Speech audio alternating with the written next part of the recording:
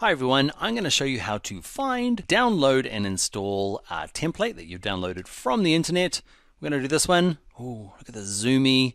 It's got a bit of motion blur going. Okay, so I'm going to show you where to find them, how to install them, plus some of the limitations. Uh, first of all though, actually before we get started, the easy one, if you just came for figuring out how to install it, go to Motion Graphics, browse and click that button. That's how you install one. Okay, but stick around if you want to learn a little bit more details. Get into it. Alright, so finding stuff on the internet. Uh, we're going to look for free stuff because, I don't know, I don't know why. Is it just me? Uh, I've got money to pay for them. I just want to look to see what the free stuff is first and then maybe pay for it. Um, motion Array, if you do a Google search for Premiere Pro uh, motion graphic templates, um, they appear quite heavily and they got really nice stuff. Um, so, you know, uh, what you can do is you get to here and you can do things like they've got a really nice search feature. Okay, they they support um, these video products really well. Okay, so I can go to Premiere Pro templates and actually just hit search. Okay, and it gives me everything. And then if you're cheap like me, go and turn this to free, pop that back in and just see what they got.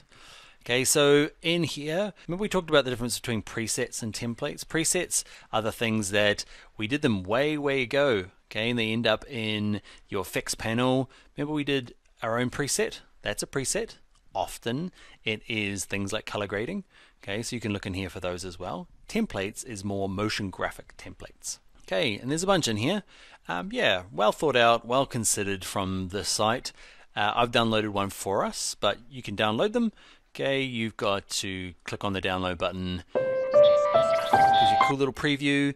Then you hit download. You need to give them your email, okay, to get it. It's that ethical bribe. You go into the emailing list, but they're pretty good with not spamming you, okay, to send you useful stuff. Obviously, you can unsubscribe. You'll end up with something like this. So, in your exercise files, okay, under Project 4, I've put the little download. Let's tidy this up. Under Motion Array, okay, and that's what I downloaded. Okay, it comes as a zip file. I opened it up, and these three things are in there. This is the thing you want, the MOGART. Okay, and this is a font link and a little PDF explaining how to install it. But that's my job right now. And the link one becomes useful because they've used a font called Roboto, which might not be linked to Adobe fonts and might not come down automatically. I already have Roboto installed on my machine because I use it for other things, but uh, often it can be really helpful to figure out what font is needed to go off and install it. it. Even tells you where to get it from. Okay, Typekit, which is what they used to call Adobe fonts. Anyway, let's look at installing it. Installing it's easy. Okay, over in your Essential Graphics panel, go to Browse. Let's go to this little button down here. Look, even tells us Install Motion Graphics Template.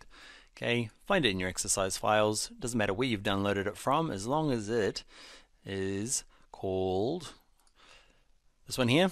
Okay, M O G R G R T. Okay, Mogart, um, Motion Graphics Template. Okay, you can click open and it will, I already have it because I've already installed it okay, and it will appear. And yet, like you can get lucky by going, let's sort by recent. Oh, look, and it appeared. Okay, but often it doesn't. if it was made three years ago, it could be at the bottom. So you might have to just try and remember what it's called, and you might have to type it in. There's my one there. Okay, and I'm going to install it by clicking. Actually, I need to make a duplicate. We're going to call this one, of course, V4.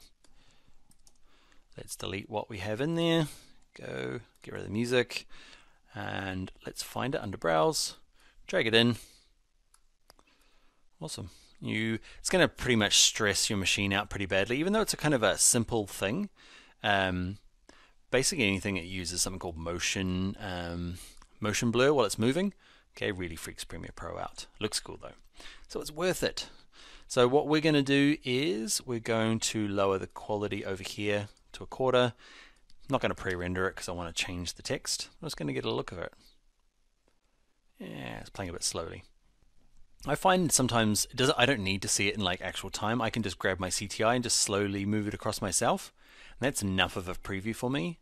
Even though it's not in real time and it's a little bit jumpy, I find that's an easy way to test it. Let's have a look what they've done. So again, no changing of the font. Okay, I can live with that kind of. All right, so pretty um, pretty basic. Uh, you can see got some cool stuff going on in here that I can change. Change the color, the text. I'm not going to run through all of that. It's pretty self-explanatory. And the thing that I might do is let's change this to. Um, 100% pure. Okay, and I also want to um, go through and maybe put more than one in because I like this kind of zoom effect. So I'm going to tuck this in. Okay, so it disappears. Okay, I'm going to do copy it. I'm going to paste it. Remember, just paste it over here. Drag it back in. Don't tell anyone. All right, drag this one on top. So we've got this kind of like pacing. And that one doesn't disappear, just kind of goes over the top. Doesn't make much sense if you don't change the color. So I'm going to pick a new color. And let's change it from disappear to visit New Zealand. All right.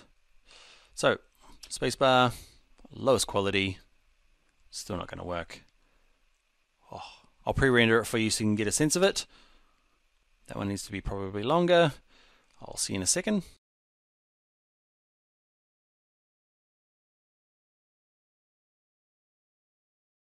All right, we're back. I hope I got the timing right. 100%. Pure New Zealand. Look at that. We're doing it. It's beautiful. So that's really cool thing about Premiere Pro and those um, MoGART um, templates is that you can find lots online now. And again, I'm not kind of advocating for always looking for free because we'll do some premium ones in the next video just give you a look actually it felt like I was uh, finishing up there's one last thing I want to show you oh I want visit New Zealand to be on two lines. Don't worry just put a return in there. Look in here let's have a look. So there's just there's like oh that's the problem with sometimes using somebody else's template and you're like mm, what do I do? I can't play around with any of that. There's no space after or line spacing. Mm, just have to live with that and try and work around it. So I guess I don't want to make it seem like it's perfect all the time. I want to show you some of the issues that face us all as Premiere Pro video creators. All right, that's it. Uh, let's jump into the next video. All right, that's it for this video. If you enjoyed it, give the video a like. Consider subscribing to the channel here. And also, if you want to go a bit further with Premiere Pro, consider checking out my Premiere Pro Essentials course. There is a link in the description. Bye now.